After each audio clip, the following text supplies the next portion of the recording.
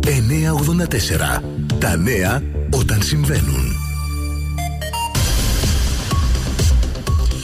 Κυρίες και κύριοι, καλό σας μεσημέρι. Ξεκινάει η αναλυτική σας ενημέρωση από τον 984.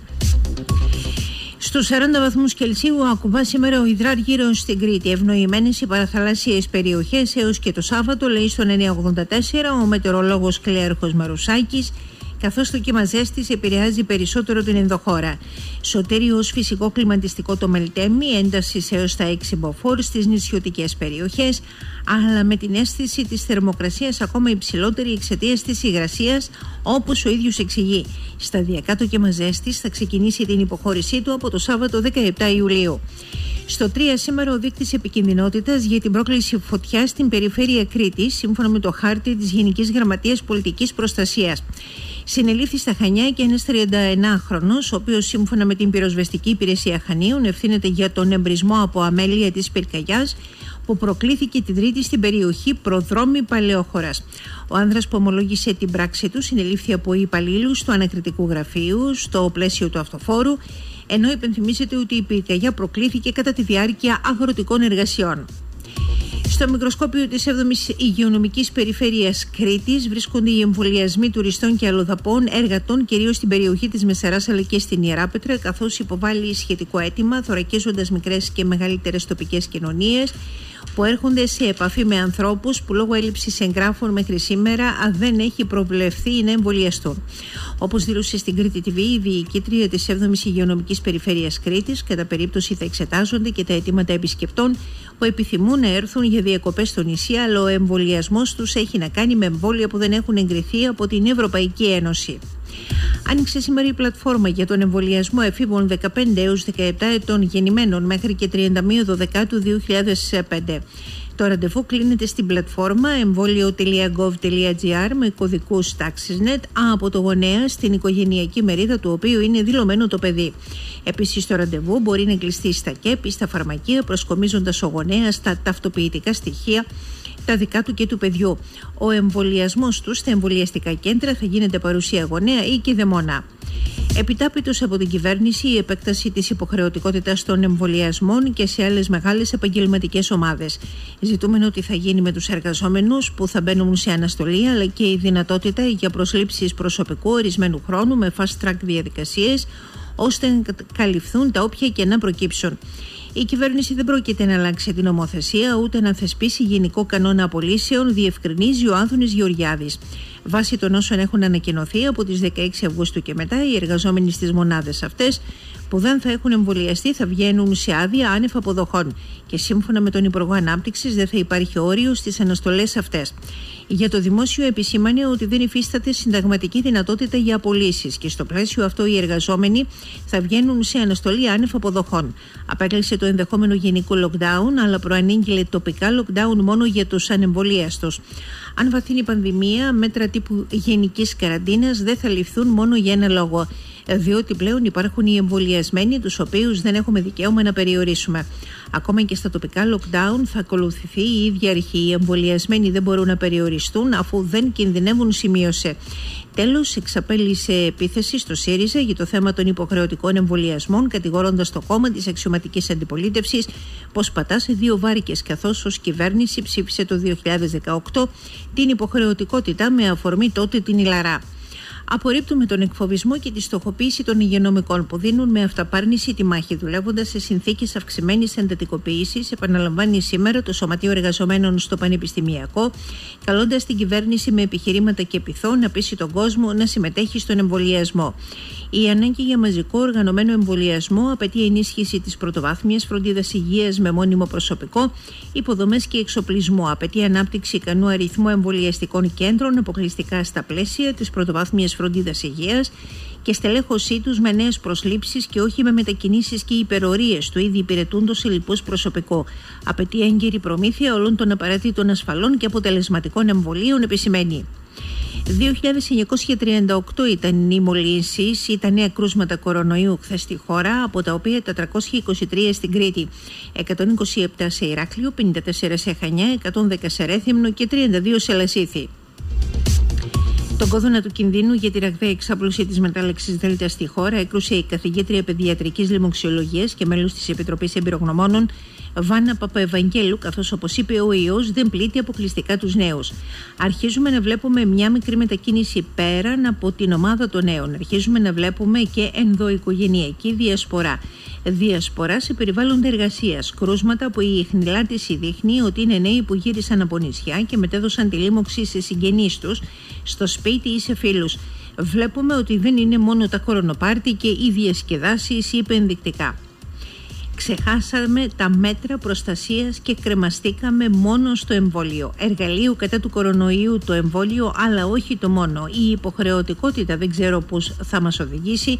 Είναι αυτό το οποίο είπε σήμερα στον 984 μεταξύ άλλων ο κύριος ε, Βανταράκης καθηγητής υγιεινής του Τμήματος Ιατρικής του Πανεπιστημίου Πατρών. Η πολιτεία είπε ότι ήδη έπρεπε να έχει ξεκινήσει την προετοιμασία της με δεδομένη την αύξηση των κρουσμάτων για τη μετάλλαξη Δέλτα και το τέταρτο κύμα. Με μόνο όπλοτα εμβόλια και χωρίς μέτρα δημόσιας υγείας λέμε ψέματα στον πολίτη ότι θα τον προστατεύσουμε πρόσθεσε. Είναι κάτι το οποίο ήταν καταρχήν αναμενόμενο. Όταν οι χώρες, όλες οι χώρες έχει επικρατήσει τη μετάλλαξη δεν θα σε εμεί θα ήμασταν εξαίρεση, ειδικά όταν έχουμε ξεκινήσει και την τουριστική περίοδο. Λοιπόν, οπότε είναι αναμενόμενο. Τώρα το αν θα είναι ε, η αλματώδης αυτή ανά, ε, αύξηση που λέτε ε, ε, είναι κάτι το οποίο απλά μας, μας, μας δημιουργεί σημαντική πίεση για, λόγω της ταχύτητας μετάδοσης. Νομίζω ότι έπρεπε να έχουμε προετοιμαστεί σε αυτό, κατά τη γνώμη μου. Όπως και σε άλλα πράγματα δηλαδή, με τα οποία όπως το, σας άκουσα από λίγο, ε, γίνεται μια σάτρα διαδικασία πρόληψης η οποία είναι ακολουθούμε συνέχεια από πίσω. 18 μήνες συζητάμε από πίσω ακολουθούμε. Πώς, πριν πόσους μήνες βγήκε η μετάλλαξη. Και ένα μάλιστα αναφερόταν και σε περιοχές οι οποίες είχαν υψηλό εμβολιαστική κάλυψη. Δηλαδή δεν ήταν σε περιοχές που ήταν μόνο χαμηλή εμβολιαστική κάλυψη άρα είναι κάτι αναμενόμενο αυτό. Θα επικρατήσει η μετάλλαξη. Αυτό είναι δεδομένο. Το ερώτημα είναι τι κάνουμε αφού θα επικρατήσει, γιατί μεταλλάξει θα υπάρχουν έτσι και αλλιώς, τι κάνουμε να, να, να προλάβουμε, να φρενάρουμε.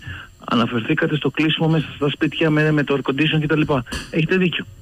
Όπως και σε άλλα πράγματα, όπως η έλλειψη ελέγχου σε αυτή τη στιγμή, η χαλαρότητα που, υπήρξε, που υπάρχει στον, στον έλεγχο. Και αυτό είναι ένα ζήτημα. Γιατί, συγγνώμη τώρα, επειδή το ανοίξατε και καλά κάνατε, ναι. σας κάνω εγώ μια ερώτηση πονηρή γιατί δεν ισχύει μέσα σε κλειστό χώρο μόνο εμβολιασμένοι με κλιματιστικά ότι μπορεί να κολλήσουν.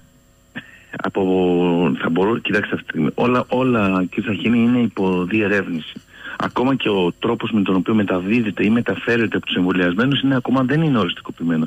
Μιλάμε για πολύ λίγο χρόνο. Μάλιστα. Το να, το να βγάζουμε αυτή τη στιγμή συνέχεια. Άρα αυτό ε, που χρειάζεται τι είναι, δεν είναι μια καλή επιδημιολογική επιτήρηση, ανείχνευση, χνηλάτιση, απομόνωση κρουσμάτων, τέστινγκ κτλ. Αν δείτε πριν περίπου δύο εβδομάδες, ίσως και λιγότερο, είχαμε 20.000 τεστ. Μόνο. Δηλαδή υπήρχε μια περίοδο που με τη χαλάρωση μειώθηκε τρε, ε, σημαντικά ο αριθμός των μοριακών τεστ. Τι χνηλάτη συζητάμε και γιατί επιδημιολογική επιτήρηση συζητάμε. Αυτά δεν υπάρχουν σε αυτή τη χώρα. Είναι ξεκάθαρο και ε, δίνω μεγάλες ευθύνες για ξε, ξεκάθαρα σε αυτούς που δεν πιέζουν προς αυτή την κατεύθυνση. Το να βγαίνω αυτή τη στιγμή και να συζητάω για τον εμβολιασμό, ξέρετε ότι την άποψή μου τον εμβολιασμό, ότι είμαι απόλυτα, ότι είμαι απόλυτα υπέρ κτλ. Αλλά Α υποθέσουμε ότι αύριο εμβολιαστούν όλοι. Όλη η Ελλάδα εμβολιαστεί ταυτόχρονα αύριο. Τι θα γίνει, σε ένα μισή μήνα θα δούμε τη διαφορά. Θα τη δούμε τώρα, αυτή τη στιγμή; Όχι, πώς θα τη δούμε, αφού δεν πρέπει να λειτουργήσει το εμβόλιο. Δηλαδή να αρχίσει να δουλεύει, να βγαίνουν δύο δόσεις κτλ. Ναι. Καταλαβαίνετε, θέλω να πω. Ότι δίνουμε ένα βάρος σε κάτι το οποίο είναι σωστό, πρέπει να κινείται παράλληλα, αλλά τα υπόλοιπα. Ε, τα υπόλοιπα. Γιατί... Τα υπόλοιπα. Πρακτικά αδύνατο βέβαια να γίνει μέσα σε δύο μέρες αυτό που λέτε. Είναι μια ναι, υπόθεση. Ναι, ναι, εγώ σας λέω να γινόταν όμως. Ναι. το, το, το Μα τέλειο, δεν γίνεται. Το τέλειο. Μισό λεπτό, ας αφήσουμε το τέλειο. Α πάμε πρακτικά. Ναι. Δεν γίνεται που δεν γίνεται. Πάνε όπως πάνε. Και τρέχει όπως τρέχει ο ιός. Άρα πώς, τείχος ανοσίας λένε οι ίδιοι επιστήμονες, ξεχάστε το. Αρχίσαν και το λένε. Βέβαια. Μάλιστα. Βέβαια. Άρα δεν πρέπει να πας σε σοβαρά μέτρα δημόσιας υγείας. Σαφέστατα ότι πρέπει να πα συστηματικά μέτρα τα οποία τα έχεις ξεχάσει γιατί μόνος σου τα έβγαλε προς τα έξω. Ότι αυτή τη στιγμή πετάμε τις μάσκες. Δεύτερον, ε, το βασικό ζήτημα για μένα είναι η επιτήρηση και αν θέλετε η στήριξη των ε, ομάδων άνω των 60 την οποία την έχουμε παρατήσει. Βγήκε να χτες ανακοινώσεις για 12 με 15. Πολύ ωραία. Αυτή τη στιγμή αυτό μας λείπει. Το 12 με 15 τα παιδιά. Ή μας λείπει αυτή τη στιγμή το 1 τρίτο των 60 να εμβολιαστό. Το οποίο εάν νοσήσει θα πάει στο νοσοκομείο. Αυτό δεν είναι το. Άρα λοιπόν η βαρύτητα που ρίχνουμε είναι ότι χτυπάμε εκεί γιατί εκεί μπορούμε. Εκεί είναι εύκολο, εκεί το βγάζουμε πιο έντονα κτλ. Τους 60 που είναι το δύσκολο, είναι αν θέλετε, ο πυρήνας ο δύσκολος, γιατί δεν τους πάμε βήμα-βήμα με τα τόμοι, με ενημερώσεις, με κοντινό τρόπο. Βγήκαν προχθές και μιλήσαν για τους, ε, να βοηθήσουν οι περιφέρειες και οι Δήμοι. Τώρα, ένα μισή χρόνο τους έχεις παραδείγματο, το κάνει, τους έχεις ασχοληθεί να σε βοηθήσουν. Τώρα, από τη στιγμή θα σε βοηθήσουν οι περιφέρειες και οι Δήμοι να βοηθήσουν. Πολύ ωραία. Γιατί ξέρουν τι πρέπει να κάνουν. Στην Κρήτη από σήμερα και για δύο ημέρες, ο πρόεδρος του ΣΥΡΙΖΑ, Προοδευτική Συμμαχία Αλέξης Σύπρα, στο επίκεντρο Υγεία και Οικονομία. Πρώτος σταθμός στο νοσοκομείο της Ιεράπετρα, στη συνέχεια συνάντηση με παραγωγικούς φορείς στο επιμελητήριο Αγίου Νικολάου. Αύριο βράδυ ανοιχτή ομιλία του στο Ηράκλειο. Συνολικά, για να ξέρετε, στο ενετικό λιμάνι προβλήτα μικρό κουλέ. Μην τολμήσει η κυβέρνηση να προχωρήσει σε συγχωνεύσεις νοσοκομείων και περιορισμό του προσωπικού το μήνυμα που έστειλε από την Ιεράπετρα. Τα λάθη, οι παλινοδίες, οι ερασιτεχνικοί χειρισμοί, η αλαζονία, ο πολιτικός κυροσκοπισμό, όλα αυτά μαζί συνετέλεσαν στο να βρεθούμε για άλλη μια φορά σε μια ανοιχτή λεωφόρα αγωνίας, ενώ μας έλεγαν ότι είμαστε στο τελευταίο μήλι πρόσθεση και κάλεσε τους πολίτες να εμβολιαστούν και να τηρούν τα μέτρα ατομικής προστασίας. Το δεύτερο μήνυμα που θέλω όμως να δώσω από εδώ, από το νοσοκομείο της Ιεράπετρας, είναι προς την κυβέρνηση να μην τολμήσει να προχωρήσει σε αυτό τον άθλιο σχεδιασμό εν μέσω της πανδημίας, συγχώνευσης ή κλεισίματος νοσοκομείων και περιορισμό του υγειονομικού προσωπικού. Για να δώσω αμέσως το λόγο στον βουλευτή του ΣΥΡΙΖΑ, Σοκράτη Βαρδάκη. Καλό μεσημέρι από τον 984. Καλό μεσημέρι, καλό μεσημέρι κυρία Δουλγεράκη από τον Άγιο Νικόλαο. Να δούμε λίγο αυτή την ώρα τι βρίσκεται σε εξέλιξη. Έγινε η συνάντηση με τους παραγωγικούς ναι. φορείς στο επιμελητήριο; Είχα, είχα, είχε ο πρόεδρος μια συνάντηση με τον πρόεδρο του επιμελητηρίου στο γραφείο του με κάποια στελέχη και τώρα γίνεται η συνάντηση στην αίθουσα του επιμελητηρίου με τους παραγωγικούς φορείς του νομού Λασιθίου. Ποια είναι τα θέματα τα οποία, κυρία Αρχών, ποια είναι τα θέματα τα οποία θέτουν οι παραγωγικοί φορείς από τη δική τους την πλευρά, κύριε Βαρδάκη; Ε, κυρία Δουλγεράκη, στην Ιερά Πέτρα τέθηκε, τέθηκαν τα ζητήματα που είπατε. Ε, να ξεκινήσω από εκεί. Ε, τα θέματα υγείας, τα θέματα απαξίωσης τα δύο τελευταία χρόνια ε, παρά την πανδημία και παρά τις υποσχέσεις της κυβέρνησης ε, για το νοσοκομείο Ιεράπετρας. Ε, η δέσμευση του Πρόεδρου του ΣΥΡΙΖΑ ήταν ε, ε, δεδομένη όσον αφορά τη στήριξη του νοσοκομείου.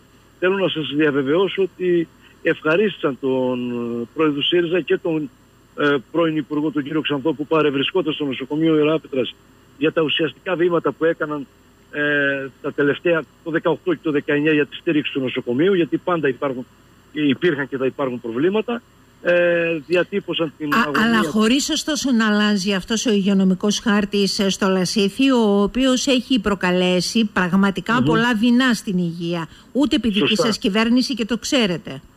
Σωστά κύριε Λουδεράκη, κοιτάξτε. Ε, ε, σύμφωνα και με τις διαρροές του τελευταίου, του τελευταίου διαστήματος που έλεγαν ότι ε, θα κλείσουν νοσοκομεία ή θα συγχωνευτούν, οι παραγωγοί φορείς εκεί της Ιεράπετρας ε, και ο Δήμαρχος της Ιεράπετρας με στεντόρια φωνή μπορώ να πω, ε, είπαν στον πρόεδρο του ΣΥΡΙΖΑ ότι θέλουν τη στήριξη ε, της αξιωματικής αντιπολίτευσης και δεν θα επιτρέψουν σε καμία των περιπτώσεων να συγχωνευτούν νοσοκομεία που αυτή τη στιγμή παίζουν ένα καθαριστικό ρόλο όσον αφορά τα θέματα υγείας του νομού Λαστίου. Τώρα είμαστε στο Λασίθι, στον Άγιο Νικόλαο, στο επιμελητήριο Ηρακλείου. Μισό λεπτό, μισό λεπτό, ε... δεν το ολοκληρώσαμε. Η δέσμευση λοιπόν λέει του Προέδρου του ΣΥΡΙΖΑ ότι ξέρετε δεν θα συγχωνευθούν τι, ας βάλουμε τις, λεγι... τις λέξεις κλειδί, τις μαγικές λεξούλες για να καταλαβαίνουμε. Εμείς που δεν ήμασταν εκεί περαιτέρω ενδεχόμενα ο χάρτης ενώ σε συγχωνεύσεις και σε κλινικές ενδεχόμενα αυτός ο χάρτης υγείας να αλλάξει προς το καλύτερο κύριε Βαρδάκη; Εννοείται. Κυρία Δουλγεράκη, κοιτάξτε απλά πράγματα. Ε, ο πρόεδρος του ΣΥΡΙΖΑ διατύπωσε την άποψη αυτή που έχουμε εκφράσει ανατακτά χρονικά διαστήματα ότι είναι τέσσερις διαφορετικές ξεχωριστές ενότητες ε, απομακρυσμένες σε μια ε, περιοχή από την άλλη αλλά, ε, άρα εμείς δεν θα συμφωνήσουμε ποτέ σε μια συγχώνευση. Αυτό που είπαμε είναι ότι ε, θα κάνουμε μια τεράστια προσπάθεια και το επόμενο διάστημα ε, αρχίζει ενωμένη της προσπάθειας που κάναμε το 18 και το 19 ενδυνάμωσης στο νοσοκομείο του νόμου Λαστίου. Μάλιστα. Να μην είναι απλά κέντρα υγείας και να μην χρειάζεται να φεύγει και να διανύει μεγάλες αποστάσεις ο κάτοικος της Ιεράπετρα προς τη Σιτία, από τη Σιτία προς τον Άγιο Νικόλαο και Τούμπαλιν. Αυτό σημαίνει. μισό λεπτό. Αυτό σημαίνει από την άλλη, ωστόσο, κύριε Βαρδάκη, γιατί εσείς και τα εργασιακά γνωρίζετε πάρα πολύ καλά, αλλά και τα θέματα υγείας γνωρίζετε πάρα πολύ καλά από την ενασχόλησή σας με τα θέματα αυτά, ότι εκκρεμούν μεγάλα θέματα σε ό,τι έχει να κάνει, ξέρετε με τι, με την ενίσχυση των νοσοκομείων με προσωπικό, όπως επίσης και τη χρηματοδότηση των νοσηλευτικών μονάδων για να καταφέρουν να λειτουργήσουν ως πρέπει και να μην χρειάζεται ο λασιθιώτης να διανύει αυτές τις μεγάλες αποστάσεις. Για να μην χρειάζεται ο άνθρωπος να φεύγει με την καρότσα του αγροτικού αυτοκινήτου και να μεταφέρεται να πάει σε ένα νοσοκομείο. Γνωστά πασίγνωστα σε όλους μας αυτά.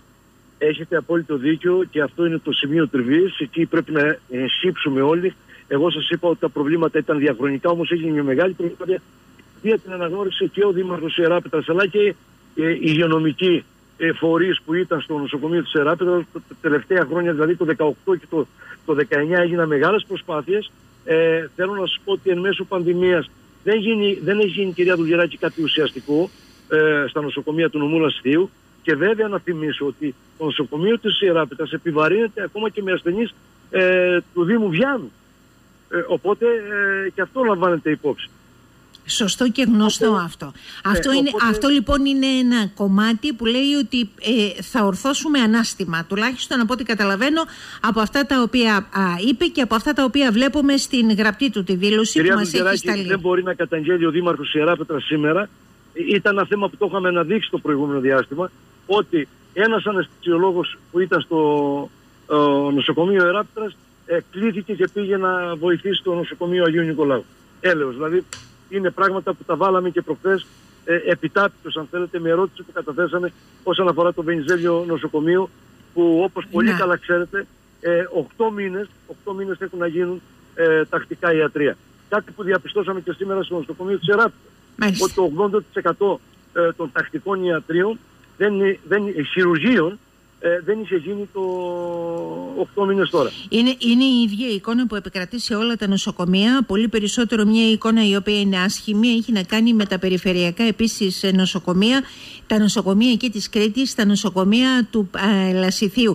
Είναι τόσα πολλά τα ρεπορτάζ που έχουν γίνει όλα αυτά τα χρόνια που πραγματικά μακάρι να είναι συμβολική αυτή η κίνηση και η στάση ως πρώτος σταθμός της επίσκεψης ε, του κυρίου Τσίπρα στην, ε, ναι, στην Κρήτη, ξεκινώντας από την Ιερά Πετρά επιτρέψτε μου να πω ότι είναι πλέον υποχρέωση όλων μας. Ε, ε, πήραμε δείγματα γραφής από την πανδημία.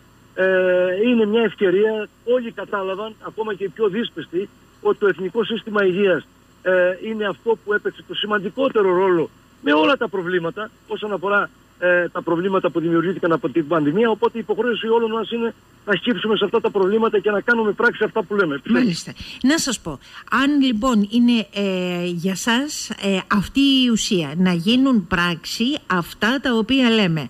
Αν κάποιος αυτή τη στιγμή σας πει πάρα πολύ απλά τα λάθη τα γνωρίζουμε, τις παλινοδίες τις γνωρίζουμε, τους ερασιτεχνικούς χειρισμούς ε, τους ε, γνωρίζουμε. Τον καιροσκοπισμό που τους κατηγόρησε ο κύριος Τσίπρας ε, το γνωρίζουμε. Αν αυτή την ώρα είχατε την δυνατότητα, από πού θα το ξεκινήσατε το πράγμα, τι θα το απαντούσατε; Να σας πω κυρία Δοντιεράκη, κατα, καταρχήν πρέπει να γίνουν αύριο το πρωί θα έλεγα εγώ οι προγραμματισμένες από τότε, από το 19 προσλήψεις όσον αφορά ιατρικό και υγειονομικό προσωπικό. Από την άλλη μεριά πρέπει να δοθούν τα αντίστοιχα κίνητρα σε, σε επιστημονικό προσωπικό για να μην φεύγει στο εξωτερικό και να στελεχώσει τα νοσοκομεία της χώρας. Όπως παράδειγμα ε, αυτό το παράδειγμα που σας είπα προηγουμένως ε, για τους αναισθησιολόγους. Δεν μπορεί αυτή τη στιγμή, κυρία Δουλγεράκη, ε, να, να, να κληθεί κάποιος επικουρικός, θα έλεγα εγώ, αναισθησιολόγος από τη Θεσσαλονίκη, να έρθει να υπηρετήσει στην Κρήτη ή στο Ηράκλειο με 1000 ευρώ. Άρα τα, κίνητρα, τα κίνητρα που πρέπει να δοθούν άμεσα ε, πρέπει να είναι τέτοια που να δώσουν τη δυνατότητα ε, σε επιστημονικό ε, και στελεχειακό δυναμικό, αν θέλετε, της χώρας που φεύγει στο εξωτερικό. Έχουμε ένα καινούριο brain drain. Αυτό διαφαίνεται. Άρα πρέπει να σταματήσει. Άρα για να σταματήσει πρέπει να δοθούν τα αντίστοιχα κίνητρα. Και αυτό που σας είπα στην αρχή,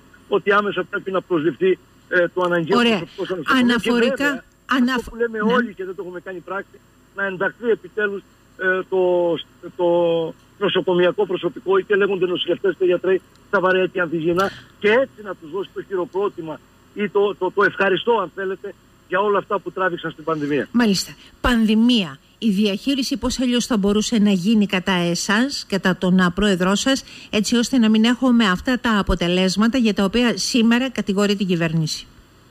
Κύριε Λουγεράκη, ξεχνάτε τα ηλιοβασιλέματα στην ε, Σταντορίνη. Ανοίξαμε και σας περιμένουμε. Χωρίς υγειονομικά πρωτόκολλα. Αυτό το πληρώσαμε. Κάτι αντίστοιχο έγινε και σήμερα. Τις προηγούμενες μέρες πετάξαμε τις μάχες και τώρα βλέπουμε τα κρούσματα. Ε, άνοιξε ο τουρισμός, ναι, όλοι θέλαμε να ανοίξει ο τουρισμός και όλοι είπαμε με, να ανοίξει ο τουρισμός, αλλά θυμάστε τι έγινε τον προηγούμενο χρόνο. Με ποιο τρόπο άνοιξε. Και τώρα είπαμε να ανοίξει ο τουρισμός, αλλά βλέπουμε ότι στην ουσία είμαστε στον αυτόματο πιλότο. Και ξέρετε τι μου έλεγε ένας ε, ε, πράκτορας εδώ τουριστικός σήμερα. Ε, ευτυχώς, ευτυχώς και δεν άνοιξε εξ αρχής ο τουρισμός από την Αγγλία. Αλλιώς θα είμαστε ήδη στα 6.000 κρούσματα. Θέλει νου και γνώση κυρία Δουγεράκη. Θέλει νου και γνώση. Και θέλει προσοχή. Άλλωστε είπε και ο Αλέξης Τσίπρας ότι ε, εδώ πρέπει να αλλάξουμε και μια τακτική και μια φιλοσοφία όσον αφορά ε, τη φιλοσοφία μας ε, όσον αφορά τον εμβολιασμό. Και να αρχίσουμε να θωρακίζουμε και τον εαυτό μας και την κοινωνία. Αλλά όχι με την πυθό του κυρίου Μητσοτάκη, με 150 και με ε, άλλους τρόπους θέλει ε, ο νέος άνθρωπος για να πιστεί κυρία Δουγεράκη σήμερα. Δηλαδή, ενημέρωση; Και ενημέρωση. Και ενημέρωση. Και ο κόσμος, ο νέος άνθρωπος που πλήττεται σήμερα, κυρία Δουλγεράκη, από την ανεργία, ε, πλήττεται από ένα σωρό προβλήματα, από την οικονομική δυσχέρεια. Και αυτό διατυπώνουν οι φορείς σήμερα στο, μέχρι τουλάχιστον τώρα που βγήκα για να, για να μιλήσουμε στο επιμελητήριο του Αγίου Νικολάου, την οικονομική δυσχέρεια που διέπει αυτή τη στιγμή τους νέους ανθρώπους και ολόκληρη την κοινωνία. Και έρθει να του δώσει 150 ευρώ για να πάει να εμβολιαστεί. Με συγχωρείτε τώρα, θεωρώ ότι ήταν ό,τι πιο άτοπο, ό,τι πιο απαράδεκτο μπορούσε ε, να σκαρφιστεί η σημερινή κυβέρνηση. Μάλιστα. Και, και για να σας πω και μια κουβέντα Ναι. ε, όσον αφορά τη συνάντηση που έχουμε εδώ στο επιμελητήριο Ηρακλείου με τους παραγωγικούς φορείς, είτε είναι αγρότες, είτε είναι κτηνοτρόφοι, είτε είναι μικροποί επιχειρηματίες, είτε είναι λιανικό εμπόριο. Όλοι διατυπώνουν την άποψη, κυρία Δουγεράκη, ότι το Σεπτέμβριο θα έχουμε μια νέα οικονομική κρίση. Είναι λόγια των φορέων, δεν είναι λόγια δικά μου. Και πολύ καλά ξέρουν και μάλιστα διατύπωσαν το, το παράπονο ότι ναι, λεφτά δόθηκαν από τη σημερινή κυβέρνηση. Και δόθηκαν και πάρα πολλά χρήματα όσον αφορά τη στήριξη των επιχειρήσεων κλπ. Αλλά ποιοι τα πήραν αυτά τα χρήματα; Η μικρομεσαία επιχείρηση που αυτή πραγματικά είχε το πρόβλημα και μάλιστα κάποιοι είπαν ότι πήραν χρήματα αυτοί που δεν τα χρειαζόταν. Άρα η μικρομεσαία επιχείρηση που έπρεπε να στηριχτεί δεν στηρίχθηκε όσο έπρεπε για να ανοίξει το Σεπτέμβρη ή για να αντέξει ή να έχει τη δυνατότητα να γυρίσει τις επιστρεπτές προκαταβολές πίσω το Σεπτέμβριο. Άρα τα προβλήματα θα είναι τεράστια. Τουλάχιστον αυτό δεχόμαστε, αυτά τα, τα παράπονα δεχόμαστε μέχρι τώρα από το, ε, στο επιμελητήριο από τους παραγωγικούς φορείς. Μάλιστα. Θα το δούμε λοιπόν συνολικά το πώς καταγράφεται και το τι έχει υποθεί. Πήραμε αυτή την α, ώρα την πρώτη εικόνα αυτών των οποίων υπόθηκαν στην, ε, Χερσόν, στην α, Ιεράπετρα και βέβαια αυτά τα οποία βρίσκονται σε εξέλιξη αυτή την ώρα στο ε, επιμελητήριο ε, στον Άγιο Νικολάου. Κύριε Βαρδάκη, σας ευχαριστώ πολύ. Καλό μεσημέρι. Εγώ σας ευχαριστώ. Καλό μεσημέρι. Καλά Γεια να σας. Και βέβαια να σας υπενθυμίσουμε ότι απόψε Κρήτη TV αντιθέσεις με το Γιώργο Σαχίνη πως δίνει μία συνέντευξη ο κύριος ε, Τσίπρας ε, για θέματα της επικαιρότητας, μία συνέντευξη εφόλης της ύλης.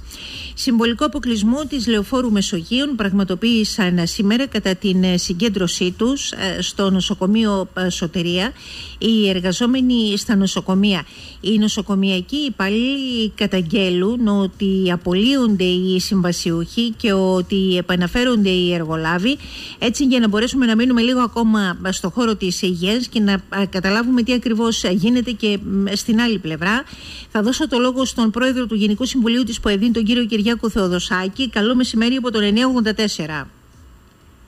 Καλό μεσημέρι και τα έτσι στους ακροατές. Λοιπόν, τα αίτια της διαμαρτυρίας αυτής σήμερα δεν είναι η πρώτη φορά που ε, γίνεται, ε, γίνονται διαμαρτυρίες αλλά σήμερα α, είναι ε, αυτό α, που είπα πριν από λίγο δηλαδή καταγγέλλεται ότι απολύονται συμβασιούχοι και επαναφέρονται εργολάβοι. Και αυτό στα πλαίσια μέσα και της πολιτικής όσο αφορά την υγεία, αλλά και στα πλαίσια, αν θέλετε, της δημοκρατίας όσο αφορά τον ε, εμβολιασμό και των υγειονομικών εργαζομένων, όσοι ε, λίγοι πλέον δεν έχουν εμβολιαστεί, συνθέτουν όλο αυτό το puzzle το οποίο κινούμαστε το τελευταίο χρονικό διάστημα. Εκτιμώ ότι η κυβέρνηση βρίσκει ευκαιρία και για τα δύο πράγματα. Και για να πιέσει ε, όχι με πειθό αλλά με άλλα μέτρα όσο αφορά τον εμβολιασμό αλλά και από την άλλη να εφαρμόσει ε, την πολιτική για την υγεία η οποία αρχίζει να ξεκαθαρίζει σιγά σιγά. μισό λεπτό κύριε Θεοδοσάκη. Εσείς οι υγειονομικοί σε τι ποσοστό είσαστε, νοσοκομιακοί, υπάλληλοι κλπ. Σε τι ποσοστό είσαστε εμβολιασμένοι; Ε, να πω το εξής, κύριε Δουλγεράκη. Είναι ότι διαφέρει από χώρο σε χώρο. Δηλαδή στο Πανεπιστημιακό Νοσοκομείο ο μεγαλύτερος αριθμός των συναδέλφων ε, όλων των κατηγοριών είναι εμβολιασμένοι. Υπάρχουν άλλοι χώροι οι οποίοι είναι ε, λιγότεροι εργαζόμενοι οι οποίοι έχουν προχωρήσει στον εμβολιασμό και στις δύο δόσεις. Εμείς αυτό που λέμε είναι ότι οι υγειονομικοί έχουν υποχρέωση να εμβολιαστούν. Αλλά τα μέτρα τα οποία οδηγούν σε, άλλη, σε, άλλη, σε αντίθετη κατάσταση όπως είναι θα απολυθούν ή θα μπουν σε αναστολή εργασίας νομίζω ότι δεν συμβάλλουν στο καλό πνεύμα στην πυθό η οποία πρέπει να έχει ένα κράτος εγώ καταλαβαίνω ότι το κράτος είναι υποχρεωμένο να προστατεύσει τους πολίτες αλλά με τέτοια μέτρα δεν προστατεύεται. Ε, νομίζω ότι πάμε σε άλλες καταστάσεις. Και από την άλλη για να γίνει και κατανοητό είναι ένα μέτρο το οποίο δεν μπορεί να εφαρμοστεί και στην πράξη. Δηλαδή θα φύγουν επαγγελματίες υγείας από τα νοσοκομεία να αντικατασταθούν όπως λέει το Υπουργείο με προσωρινές προκηρύξεις για να δουλέψουν οι δημόσιες υπηρεσίες υγείας. Δια, είναι... Διαδικασίες fast track και έτσι αυτά φαίνεται. Είναι, αυτά είναι λίγο γελιότητες ε, κυρία Δουλειάρα για να μου επιτρέψετε.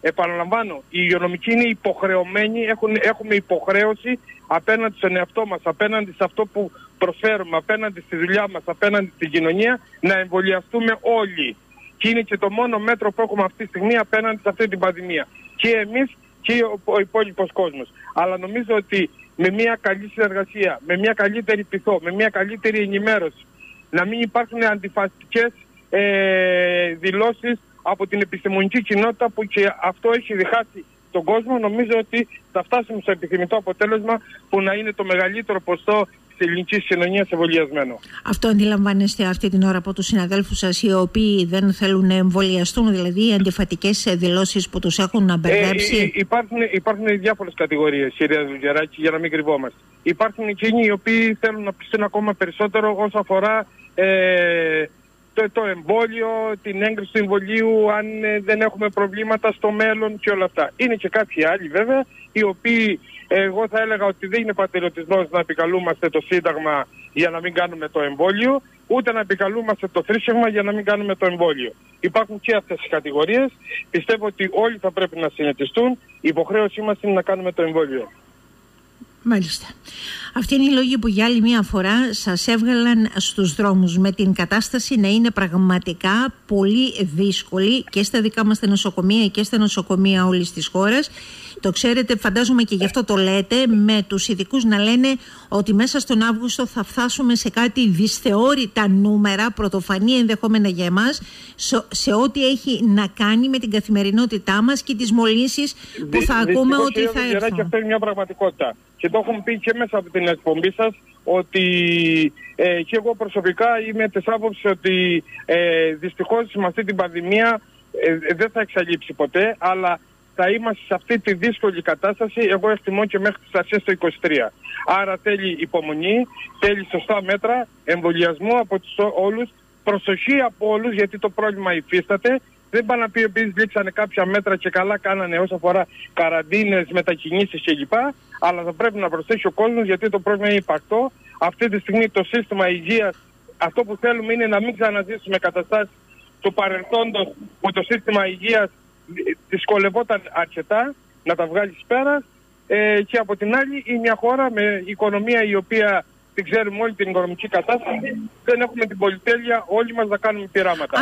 Εμβολιασμός και προστασία. Αν στο πρώτο κύμα ή, ή αν θέλετε στο δεύτερο κύμα ή τους μήνες που πέρασαν, να το πω διαφορετικά, να μην τα χαρακτηρίζουμε ως κύματα, ήταν πολύ δύσκολα τα πράγματα μέσα στα νοσοκομεία και για εσάς τους ίδιους ε, και για τις ώρες εργασίας σας και για την πίεση που δέχθηκε το σύστημα υγείας και για αυτά τα, οποία δεν έγιναν ε, και για τις αντοχές σας και για όλα τα υπόλοιπα. Αυτή τη φορά, εάν το έχουμε αυτό μπροστά μας, τι κύριε Θεοδοσάκη; Ε, αυτό που βλέπουμε είναι ότι αυτή τη φορά υπάρχει μεγαλύτερη μεταδοτικότητα όσο αφορά τη μετάλλαξη. Όχι, για τις δικές σας αντοχές και τις αντοχές του συστήματος υγείας μιλάω.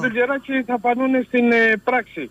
Ε, εμείς ε, αυτό που λέμε είναι ότι δεν θα, θα πρέπει να αποφύγει ο κόσμος να έρθει στα νοσοκομεία. Και μην ξεχνούμε ότι δεν είναι μόνο οι άνθρωποι που θα νοσήσουν με τον COVID. Έχουμε χιλιάδες περιστατικά που λόγω του COVID και λόγω ότι ε, είχαμε δώσει όλες τις δυνάμεις προς αυτή την κατεύθυνση, υπάρχουν άνθρωποι που έχουν καθυστερήσει να τους προσφέρουμε υπηρεσίες υγείας. Και αυτό το βρίσκουμε μπροστά μας. Είναι πολλαπλό το, το ζήτημα. Δηλαδή και οι αντοχές οι δικές μας, αλλά και της κοινωνίας ειδικά, δεν θα κρατήσουν για πολύ. Το πρόβλημα είναι υπαρκτό. Νομίζω ότι στις τελευταίες αναφορές και μπελώντας για εκείνους τους ανθρώπους οι οποίοι δεν έχουν τις απαραίτητες υπηρεσίες σε ό,τι έχει να κάνει με τη δική τους την ασθένεια, τη δική τους την νόσο, εκτός COVID-19 ότι τα πράγματα πραγματικά είναι τραγικά καθώς είναι, έχουν πάει πολλά πίσω θα πρέπει και η κυβέρνηση να δει ακόμα περισσότερο τι θα γίνει και με την πρωτοβάθμια φροντίδα υγείας. Είναι ένα βασικό ζήτημα που αν λειτουργεί η πρωτοβάθμια φροντίδα υγείας έχει και περισσότερη πειθό γιατί ο κόσμος ε, το γιατρό του ο οποίο τον επισκέπτει για οτιδήποτε άλλο θέμα θα τον εμπιστευτεί και για το εμβόλιο.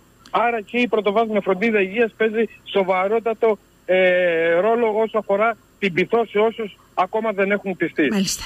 Μόνο που δεν θα σας ρωτήσω σε αυτό το σημείο γιατί δεν ενισχύθηκε έτσι όπως της έπρεπε η πρωτοβάθμια φροντίδα υγείας για να μπορεί να έχει καθοριστικό ρόλο στα υπόλοιπα. Το γέλιο σας μου έδωσε απάντηση. Αυτό κύριε Δουλγεράκη, τα έχουμε πει πολλές φορές, δυστυχώς δεν ακουγόμαστε. Είναι και στα πλαίσια της πολιτικής της κάθε κυβέρνηση όσο αφορά το χειρισμό πώς βλέπει τη δημόσια και την κρατική υγεία. Ε, όλα αυτά όμως βλέπουμε ότι μέσα από την πανδημία, η οποία δυστυχώς και λόγω της κλιματικής αλλαγής και πολλών άλλων πραγμάτων, η, η υγεία θα χρειάζεται θα, και θα πρέπει να αναπτύσσεται, αλλά να έχει και τις ε, δυνάμεις και το ανθρώπινο δυναμικό, αλλά και ο κόσμος να ακούει την επιστημονική κοινότητα, αρκεί να μην κάνει παλινοδίες, πραγματικά για να έχουμε υγεία ε, και η υγεία δεν είναι μόνο η σωματική υγεία, αλλά είναι η ψυχική, είναι η οικονομική, είναι τα πάντα, κυρία Δουλγεράκη. Μάλιστα. Λοιπόν, σας ευχαριστώ πολύ. Καλό μεσημέρι. Να είστε καλά. Παγκόσμια συνάντηση των μελών του Συνδέσμου Ελληνικής Κτηνοτροφίας και Φορέων θα πραγματοποιηθεί την Κυριακή το μεσημέρι με στόχο την ενημέρωση για τους δασικούς χάρτες, την εκτίμηση της τρέχουσας κατάστασης, τον προγραμματισμό των επόμενων ενεργειών και την ανασυγκρότηση της Συντονιστικής Επιτροπής με την συμμετοχή νέων μελών. Ακόμα 73 εργαζόμενοι του Δήμου Ηρακλείου μέσω του κοινοφελούς προγράμματος του ΟΑΕΔ πήραν προσωρινή διαταγή και θα συνεχίσουν να παρέχουν τις πολύτιμες υπηρεσίες τους έως τουλάχιστον τις 3 του Δεκέμβρη 2021. Το δικαστήριο έκρινε ότι οι 73 εργαζόμενοι παρέχουν τις υπηρεσίες τους σε κέρυες θέσεις όπως η καθαριότητα, η υπηρεσία πρασίνου και τα τεχνητικά έργα. Οργή των κατοίκων σε Άνω Φορτέτσα και Βασιλιές που έχουν να δουν νερό στις βρύσες τους εδώ και 7 ημέρες. Για μία ακόμα φορά οι καλοκαιρινοί μήνες εξελίσσονται σε εφιάλτη για τους κατοίκους.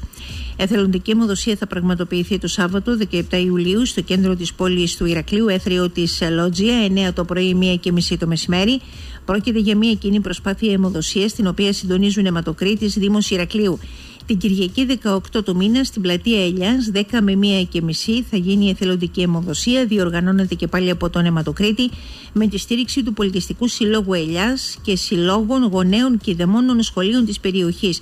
Οι αιμοληψίες θα πραγματοποιηθούν από την κινητή μονάδα αιμοδοσίας του Βενιζελίου. Το Πνευματικό Κέντρο Καλεσόν διοργανώνει για μία ακόμα φορά εθελοντική αιμοδοσία στην αίθουσά του Άνω Καλέσα την Κυριακή 18 του μήνα. Αιμοδοσία η οποία ξεκινάει από τις 10 το πρωί, τελειώνει στη 1 το μεσημέρι. Θα τηρηθούν όλα τα απαραίτητα μέτρα πρόληψης λόγω COVID-19. Πρόκειται για μια δράση που γίνεται στο Πνευματικό Κέντρο δύο φορές κάθε χρόνο με μεγάλη επιτυχία και συμμετοχή. Συνελήφθη ο ένας εκ των φερόμενων δραστών του αιματηρού επεισοδίου στις Γούβες με αποτέλεσμα το σοβαρό τραυματισμό 37χρονου κτηνοτρόφου που νοσηλεύεται διασωληνωμένο στη ΜΕΘ του Πανεπιστημιακού.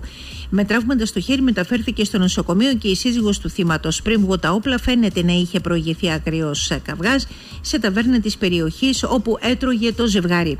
Όμως στο σημείο αυτό, κυρίες και κύριοι, θα καλημερίσω τον Δήμαρχο Χερσονήσου, τον κύριο Γιάννη Σέγκο. Καλό μεσημέρι από τον 984, πώς είστε; Καλό μεσημέρι, κυρία Δουλγεράκη, να είστε καλά. Εσείς και όσοι μας ακούν, να είστε καλά. Γιατί αύριο έχουμε ένα συνέδριο, το συνέδριο του Τεχνικού Επιμελητηρίου Τμήμα Ανατολικής Κρήτης, για την παρουσίαση των μελετών του ΒΟΑΚ στην Ανατολική ε, Κρήτη. Κεντρικός ομιλητής για να γνωρίζει ο κόσμος στο γενικό πλαίσιο, ο Υφυπουργός Υποδομών Μεταφορών Γιάννης Κεφαλογιάννης. Εδώ έχουμε τα εξής δεδομένα. Τα, το νέο πόρου στην περιβαλλοντική μελέτη που έχει πει το Περιφερειακό Συμβούλιο, ο Δήμος Αγίου Νικολάου και το όχι που έχει πει το Δημοτικό Συμβούλιο Χερσονήσου, γιατί διαπιστώνεται ελλείψει, παραλήψεις στο κομμάτι των πλημμυρικών ροών και των όμβριων υδάτων.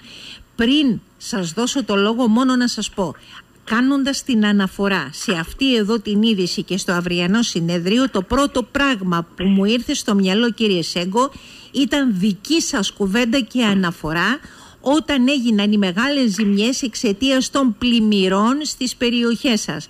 Ότι κοιτάξτε να δείτε, εδώ τα όμβρια ύδατα έχουν προκαλέσει πλημμυρικά φαινόμενα, τα νερά από την εθνική βρήκαν διέξοδο και πραγματικά έχουν προκαλέσει τα πάντα όλα στις βόρειες περιοχές, παραθαλάσσιες περιοχές του Δήμου Χερσονήσου. Ακριβώς αυτό συμβαίνει κυρία Δουλγεράκη, όπως αναφέρατε ξεκάθαρα και ε, καθαρά στο, στον πρόλογό σας. Καταρχήν θέλω να είμαι ξεκάθαρος στη διαδικασία. Δεν είμαι ο άνθρωπος και ο αυτοδιοικητικός που πιστεύω ότι ο ΒΟΑΚ προξένησε την καταστροφή. Θέλω να είμαι ξεκάθαρος απέναντί σας και σε όσοι μας ακούν, αλλά και τον τεχνικό κόσμο της Κρήτης. Ε, ο ΒΟΑΚ δεν προξένησε την καταστροφή αυτή καθεαυτή. Μην ξεχνάμε ότι αυτό που υπέστην ο Δήμος Χερσονήσου τότε και κάποιες άλλες περιοχές της Κρήτης ήταν θεομηνία. Γιατί 32 περίπου κατά μέσο όρο τόνοι στο στρέμμα σε ένα πεντάωρο είναι πολύ μεγάλη ποσότητα νερού. Όμως εννοείται ότι ένα πλημμυρικό φαινόμενο υπάρχουν παράγοντες που το επιβαρύνουν ή το ελαφρύνουν. Στη δικιά μας την περίπτωση τι έχει συμβεί; Ο ΒΟΑΚ, ο οποίος ξαναλέω άλλη μια φορά είναι ένας πολύ καλά κατασκευασμένος δρόμος, τουλάχιστον μέχρι τη Χερσόνησο, όσο τον ζούμε τα τελευταία χρόνια που έχει παραδοθεί το κομμάτι Γούρνε Χερσόνησο μετά το 2015-2016. Mm-hmm. Όμως, ποιο είναι το μειονέκτημα; Στην πλημμυρική ροή, στην, στη θεομηνία, εκείνο που, εκείνο, εκείνο που προσπαθεί να κάνεις είναι το εξής. Να κάνεις τις αναγκαίες παρεμβάσεις και έργα, ούτως ώστε την πλημμύρα πεντηκονταετίας ή εκατονταετίας που λένε οι επιστήμονες να την ελαφρύνεις, ούτως ώστε οι ροές που θα προξενηθούν να μην δημιουργήσουν καταστροφές. Αυτό λοιπόν που είχαμε στη δικιά μας την περίπτωση ήταν ότι η συμμετοχή του δημοσίου έργου που λέγεται ΒΟΑΚ δεν έκανε τη δουλειά, τη δουλειά του στο να ελαφρύνει την πλημμυρική ροή. Για ποιο λόγο, διότι όταν κατασκευάστηκε ο ΒΟΑΚ, τα τεχνικά και οι που φτιάχτηκαν μαζεύουν το νερό ανάντι, νότια δηλαδή της Εθνικής Οδού και το οδηγούν σε συγκεκριμένες οδεύσεις που φεύγει και κατεβαίνει κατάντι προς την παραλία με μεγάλες ταχύτητες αφού μαζεύονται μεγάλοι όγκοι νερών σε συγκεκριμένα στόμια πλέον, οχετούς και τεχνικά έργα με μια παράληψη όμως. Από κάτω από την εθνική μέχρι την παραλία δεν υπάρχει καμία πρόνοια πώς θα πάνε τα νερά στην παραλία. Σε ένα τόπο οικιστικά ανεπτυγμένο και τουριστικά ανεπτυγμένο. Αναφέρεστε στο ρέμα λοιπόν... χαμόπρινα; Όχι μόνο στα χαμόπρινα. Α. Προσέξτε, το ίδιο έγινε στα χαμόπρινα, στη Σταλίδα, στο Κουτουλουφάρι, στον πόρο του Κουτουλουφαρίου, ναι, που καταστράφηκε το Κουτουλουφάρι, πήρε όλο το, το δόστρωμα, όλα τα τεχνικά εκεί, έκανε τεράστιες καταστροφές. Στο δρόμο το κεντρικό στην Αγίου Βασιλείου, έκανε καταστροφές στο σύστημα ίδρυυσης και αποχέτευσης. Δεν είχαν αποχέτευση κάποιες μέρες οι άνθρωποι, επενδύκαμε βέβαια κατευθείαν αμέσως. Το ίδιο έγινε στη Χερσόνησο. Το ίδιο έγινε, κυρία Δουλγεράκη, στην ανάληψη, η οποία παραλίγο να πνιγεί, πνίγηκε μάλλον, δις. Και 20-22 Οκτωβρίου και 10-11 Νοεμβρίου. Το ίδιο έγινε στις Γούρνες, το ίδιο έγινε στις Γούβες.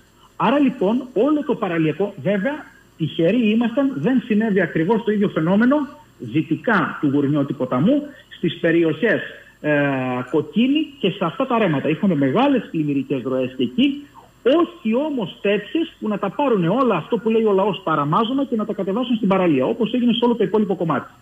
Άρα λοιπόν, εκείνο το οποίο ζητούμε είναι ποιο; Όχι ο δρόμος αυτός ότι είναι κακός και δεν τον θέλουμε. Προς Θεού, τον θέλουμε τον δρόμο. Ζητούμε από την πολιτεία στις μελέτες της μέσα. να διασφαλίσει συγκεκριμένα πράγματα. Υπάρχει, Βέβαια, υπάρχει πλέον υπεπατημένη και ο Δήμος Χερσονήσου βιωματικά πια υπέστην τις συνέπειες και ξέρουμε τι συμβαίνει, να ληφθεί μέρημνα στις κατοικημένες περιοχές εκεί που υπάρχουν ρέματα και ποταμοί, να γίνει μαζί με τις μελέτες του ΒΟΑΚ να γίνει και μελέτε, μελέτες οριοθέτησης, διευθέτησης των ποταμών. Αυτό λέμε. Δεν ζητάμε τίποτα παράλογο.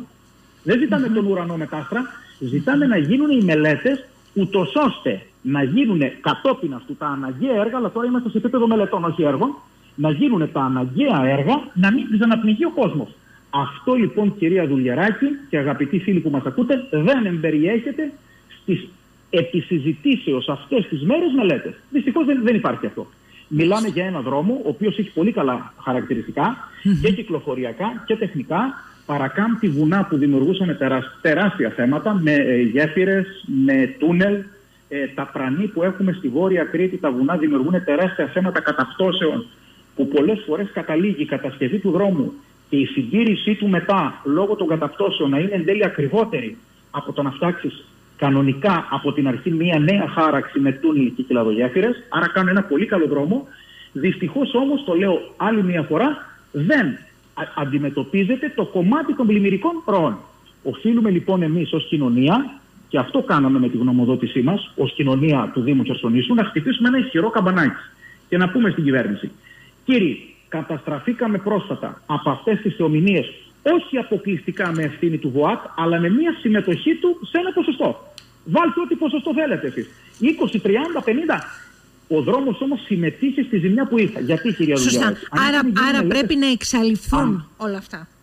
Βεβαίως, αν είχαν γίνει οι μελέτες ανάσχεσης των υδάτων, εκεί όπου κατασκευάστηκαν τα τεχνικά του ΒΟΑΚ, είχαν γίνει κάποιες λεκάνες ανάσχεσης νότια του Βουάκου, δηλαδή κατακρατείται το νερό το πλημμυρικό, δεν θα γεμίζανε σε 2, 3, 4, 5 ώρες έτσι εύκολα τα ρέματά μας με πολύ μεγάλες ποσότητες νερού για να πλήξουν και να πνίξουν τους δρόμους εντός των ρεμάτων.